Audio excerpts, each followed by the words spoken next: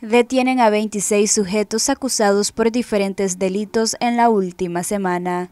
Capturamos 26 delincuentes por delitos de peligrosidad, 5 por muerte homicida, que es muy importante para nosotros para no elevar la cantidad de muertes homicidas o la tasa de homicidios por cada 100 mil habitantes que tenemos la más baja de Centroamérica y de la región, el robo con intimidación, abastecedores de droga y avigiato, como ya decía anteriormente. En esta captura que realizamos eh, fueron ocupadas evidencias, principalmente 44 libras de marihuana, un arma de fuego y un vehículo.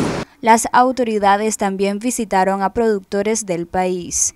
Para garantizar que nuestros productores, que nuestros trabajadores agrícolas desarrollen sus actividades productivas en paz y tranquilidad, realizamos 219 asambleas con 6.625 productores. ¿Cuál es la finalidad de esta asamblea? Conocer las necesidades de seguridad de nuestros productores, porque constituyen un elemento importante para la economía de nuestro país, para las exportaciones y para el abastecimiento de los productos de primera necesidad que son eh, necesarios para nuestra comunidad. También brindamos cobertura de seguridad a 23 rubros de producción, un total de 794 coberturas en algunos rubros específicos como el oro, el arroz, el frijol, las musáceas, el cacao, fruta y hortalizas, entre otros. ¿Qué realizamos además? Aprovechamos para realizar inspecciones. Inspecciones a quienes, a los camiones que trasladan el ganado, porque es muy importante para nosotros controlar la trazabilidad del ganado, la movilidad del ganado. ¿Para qué? Para evitar eh, específicamente el delito de, de abigeato.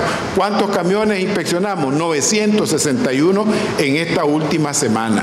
¿Para qué? Para verificar las guías de traslado, las guías de trazabilidad para verificar que el ganado que se está trasladando sea realmente el que está contemplado en la guía, porque para nosotros es muy importante identificar el ganado, porque el acto ganadero en nuestro país es muy importante. La carne es una de las principales... Eh, eh, uno de los principales productos de exportación de nuestro país y también es muy importante porque es un producto de consumo en nuestras comunidades. Para Noticias 12, Luisa Centeno.